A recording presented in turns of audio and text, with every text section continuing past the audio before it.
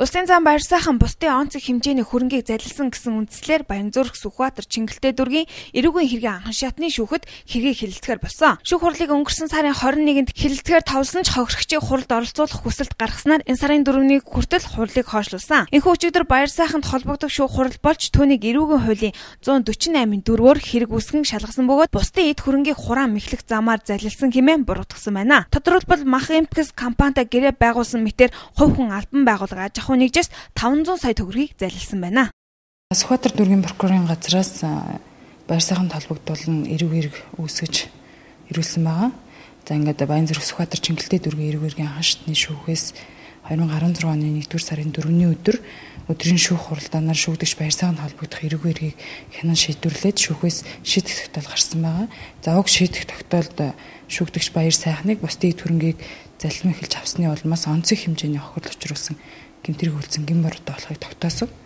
За ингээд эргүүлийн тусгай ангийн 148 дугаар зүйлийн 148 дөрөвд хэсэг зааснаар шүүдж баяр сайхнаас 2 сая төгрөгийн эд хөрөнгө хурааж 11 жилийн хугацаагаар хойр халиг чанга төлөмтэй эртэжтэй харих ангид илүүлэхээр шийдвэрлсэн байна.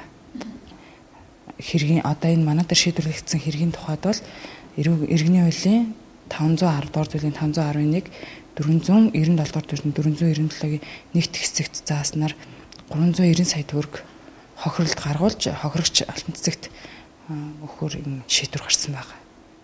Тэрээр дахин давж заалтна гэдэг шүүх хурлын дараа хэлсэн энэ мэтчлэн бүхчүүдэд холбоотой гэмт хэрэгүүд гарсаар байна. Энэ хэрэгээс гадна улсын начин улаанхүү 523 г мансууруулах бодис худалдаалan бордуулахыг завцсан хэрэгээр 11 жилийн хорих ялаар шийдгүүлж байсан. Мөн улсын харцаг намсрааж албан үргээ гүйцэтгэж байсан замын цагдаа зодсон хэрэгээр 3 сар хоригдсон. Улсын начин отхоо бусдыг зодож танхаарсан хэрэгээр 4 жил 6 сарын хорих ялыг авсан. Бүх хүнд чинь нэр төр зөөлөн сэтгэл гэж байдгийг зодог сэнждүүгүй юу? Ата хонзон авцаа өвцөө өвөрлөж явах ч юу. Хүчтний үлгий үлзий торгон дэвжээгээ. Ус сонзонгийн чулуун дэвсгэрч болгохгүй шүү.